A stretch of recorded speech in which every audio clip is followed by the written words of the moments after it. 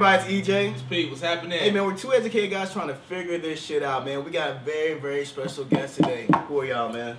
Plays Plays well well with with others.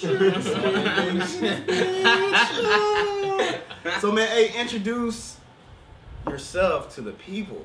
I mean, who are you? Hi, how's it going, everybody? Happy to be here. Thank you guys for having us first and foremost. Uh, my name is Nicholas. I'm the lead vocalist of Plays Well with Others. I'm Felipe. I'm from Brazil. I play guitar for Plays Well with Others.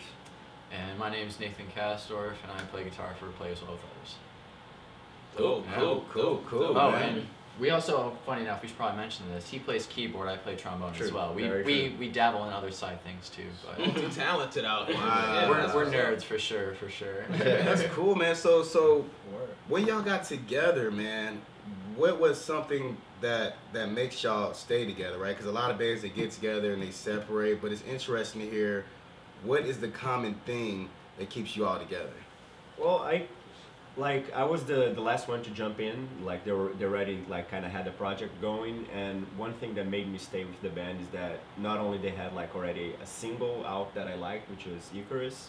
Icarus, check it Um, out. Check it out.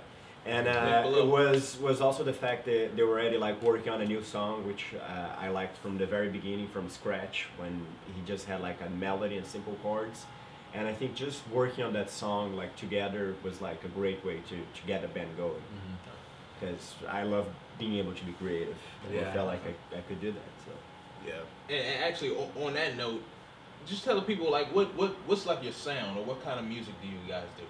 Just to you know give them an overall idea of mm-hmm. what you guys are about. It it's it spans a huge range. I mean, there's there's moments where it hits like light Pink Floyd all the way to like a modern um, interpretation of like modern day metal.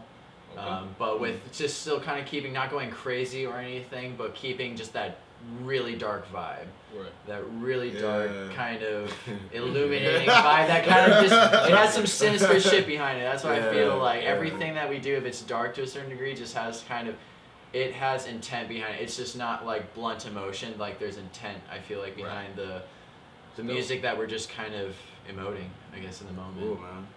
Cool, dope, cool, dope, cool. dope, Yeah.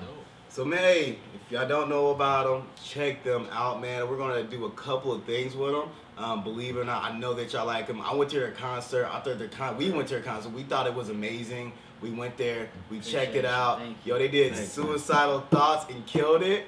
Everybody that was in the crowd stood up, gave me standing ovation. I, for a second, became a groupie. I was like, oh, I can't stand in line, no, man. You know, fuck, I gotta get them. And then we got them on the show, man. So they're on the show because we believe in them, man. So hey, man, mm-hmm. subscribe, like our stuff. We're gonna have them on the reaction, reacting to their own video. Two educated Word. guys. Peace.